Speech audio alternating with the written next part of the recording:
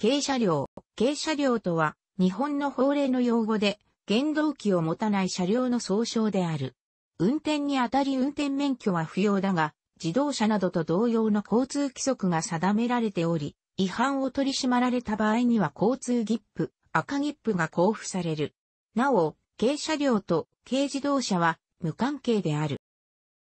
すなわち、道路運送車両法、道路運送車両の保安基準を含むにおいては、二輪の自転車、側車付きを除く、四輪自転車、四輪以上含むに対する規制は存在しない。牛反り、犬反り、牛馬も同様。つまり、道路運送車両法令についてはこれらは規制対象外。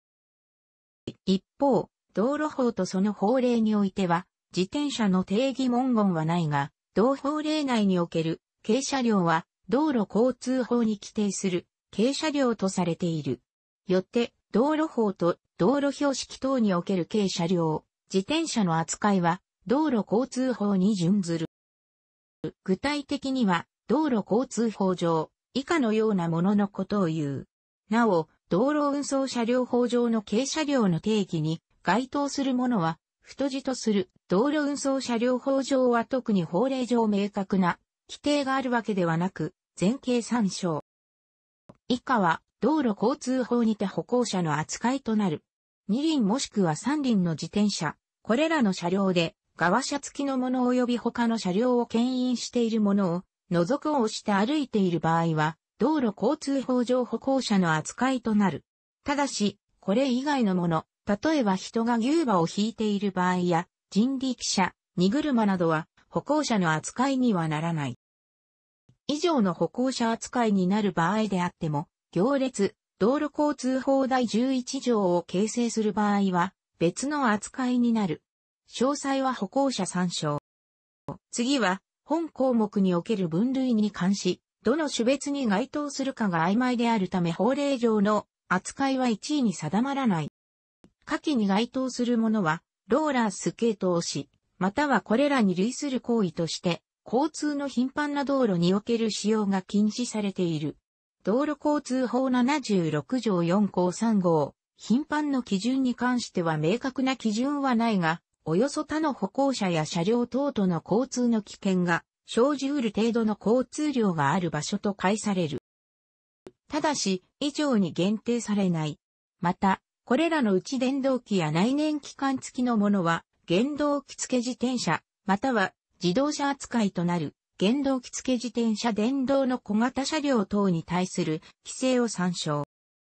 軽車両は、自動車、原動機付自転車、トロリーバスとともに、道路交通法では、車両に含まれ、車両通行帯の設けられていない道路、歩道や路側帯と車道の区別のある道路においては、車道ではその左側端によって、車両通行帯の設けられた道路では最も左の車両通行帯を通行しなければならない。軽車両のうち2輪もしくは3輪の自転車、サイドカー付きのもの及びサイクルレーラーを除くについては、歩道通行の例外が適用されるが、これら以外の軽車両は、自動車等と同様に、道路外出入り等のための横断等の例外を除いては、歩道を通行できない。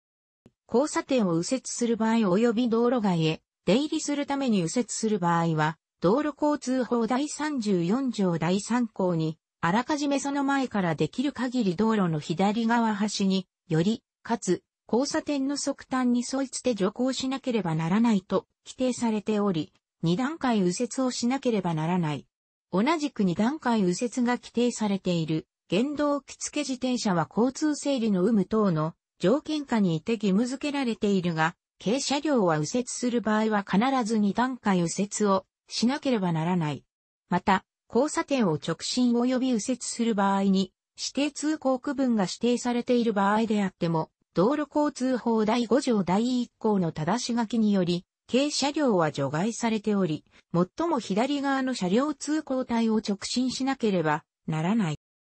軽車両は道路左側部分にある路側帯、歩行者専用路側帯を除くも通行することができるが、歩行者の通行を妨げないような速度と方法で進行しなければならない。自転車を含めて軽車両は逆走になるので、道路右側部分にある路側帯は通行できない。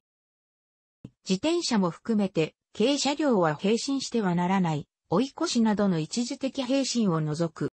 全消灯、微灯、反射機材についての規制は、自転車と同様であり次の通り。東京都の場合微灯は、次の反射機材を備える場合には不要である。前述の通り、微灯と反射機材は、どちらか一方があればよい。両方あってもよい。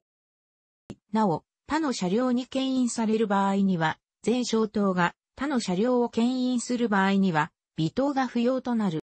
有料道路の通行料金において、軽車両等の車種には、自転車などの軽車両の他に、普通自動二輪車に該当する車両のうち、総排気量 125cc 以下の二輪車、道路運送車両法における、原動機付停車に該当する車両と、原動機付自転車、総排気量 50cc 以下の二輪車も含まれている。ただ、一部の有料道路では、軽車両等の通行料金区別があっても、本来の軽車両が通行できない場合があり、さらに原動機付自転車、総排気量 50cc 以下の二輪車さえも通行できない場合がある。このほか、道路交通法においては普通自動車に該当するミニカーも道路運送車両法においては原動機付自転車に該当するため、軽車両等に該当するものの、ミニカー自体が有料道路を通行することができるかどうかは不明である。